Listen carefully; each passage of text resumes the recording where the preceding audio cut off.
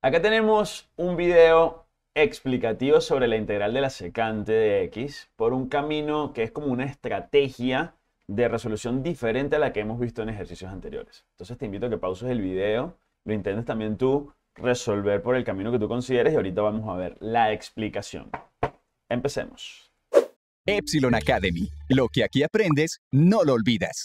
Chicos, atención a esto por favor porque es un camino diferente. Ya nosotros previamente en ejercicios anteriores hemos explicado cómo se podría resolver trabajándolo por este camino, donde multiplicamos por el coseno arriba y abajo y nos fuimos hasta por fracciones parciales. Fino. Eso es una forma. Hay otras. Eso es lo genial de la matemática. No existe una sola manera de hacer las cosas. Ahora, existe una función que tú derivaste y te dio la secante de x. O sea, y luego tú la derivaste y lo simplificaste al máximo.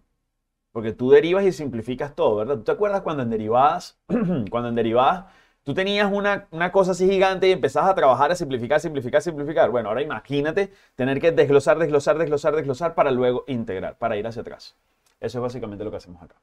Ahora, si pensamos en la secante, Resulta que si pensamos en secante de x, la derivada, por ejemplo, la derivada de la secante, hmm, la derivada de la tangente, tú dirías, bueno, la, derivada de la tangente tiene que ver con la secante también. La derivada de la tangente es secante al cuadrado y la derivada de la secante es secante por tangente.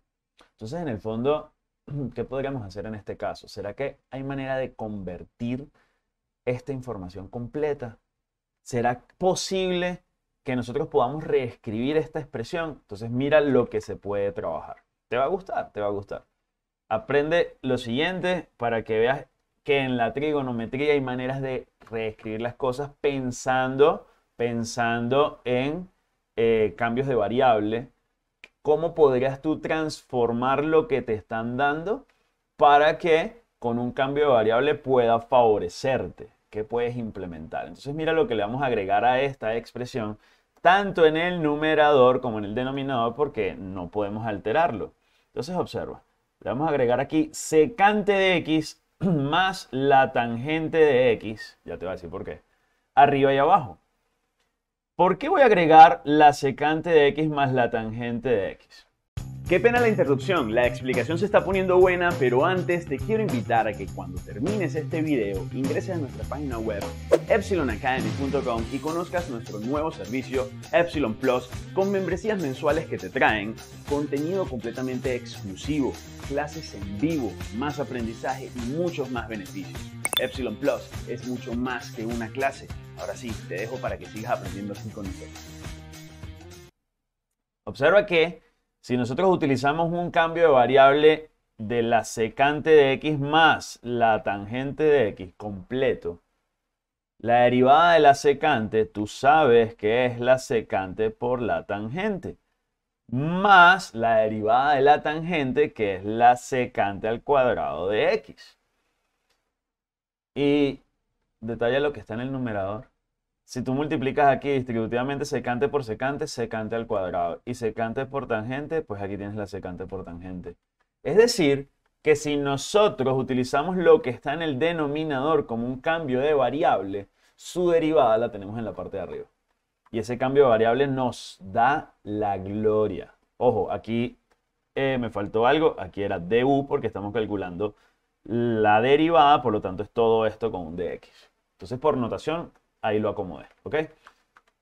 Entonces tú dices lo siguiente, pero ven acá, ¿cómo nos podría quedar con base en esto nuestro ejercicio si ese es nuestro cambio de variable? Mira, me vas a decir tú a mí si no sería épico. No es épico que, bueno, voy a primero a hacer la distributiva en la parte de arriba, no es épico, ya lo viste, ya lo viste, ya de una vez automáticamente te percatas que arriba tienes la secante al cuadrado de x más la secante de x por la tangente de x. Y solo agregándole esa partecita en la parte de arriba, ahorita le coloco el símbolo de la integral, dame un segundito que termine acá. Solo agregando ese pedacito en la parte de arriba, ya automáticamente nuestro ejercicio tiene otro, otro semblante. Ya sabemos que nuestro cambio de variable, si esto es u, arriba tienes de u secante cuadrado más secante de x por la tangente de x todo. Entonces mira que nuestro cambio bello pechocho de variable automáticamente lo único que nos está quedando a nosotros es esto. 1 sobre u de u. Y esto es el logaritmo natural. Mira, porque es que todo lo que está en la parte de arriba, todo lo que está aquí en la parte de arriba es automáticamente esto. Por eso es de u. Y aquí abajo es nuestro cambio de variable que utilizamos, que es u. ¿por, ¿Por qué hicimos eso? Ojo, aquí, hola. ¿Por qué hicimos eso? Porque en el fondo nos conviene, nos favorece. Eh, se ajustó esa operación matemática. Estas son, por así decirlo, estrategias de álgebra. Ya nosotros hicimos la secante por el camino tradicional, pero miren esta alternativa. Nos conviene porque ya tú sabes que si tú derivas la secante, secante por tangente, y la deriva de la tangente, secante cuadrado. Si tú a la secante le multiplicas por secante más tangente, te está quedando la derivada de esa cantidad. Entonces, en el fondo de esto, ya tú sabes cuál es su derivada, ¿sí o no? Logaritmo natural de u más c. ¿Qué quiere decir eso? Que en nuestro ejercicio, si devolvemos el cambio de variable, la integral de la secante de x automáticamente, muchachos, miren cómo tan rápido se pudo resolver y no hicimos nada de los, los videos anteriores de la deriva, la integral de la secante de x automáticamente es el logaritmo natural de quién? De u. Y tú sabes que u, por cambio de variable, dijimos que era esto que está aquí. Y por ello, ya automáticamente es nuestro resultado de la integral. ¿Qué te parece? Más sencillo, ¿sí o no? Mira, en un pedacito. En un pedacitico, como manejando álgebra, manejando trigonometría, manejando todos esos conceptos, saber qué es un cambio de variable, cuál es el cambio de variable que te favorece, mira cómo puedes implementarlo. ¿Te gustó? A mí me encantó. A mí la verdad me encantó. Te invito entonces a que estés pendiente de los demás ejercicios, los demás videos y con nosotros recuerda que lo que aprendes no lo olvidas. Chao, chao. Epsilon Academy. Lo que aquí aprendes no lo olvidas.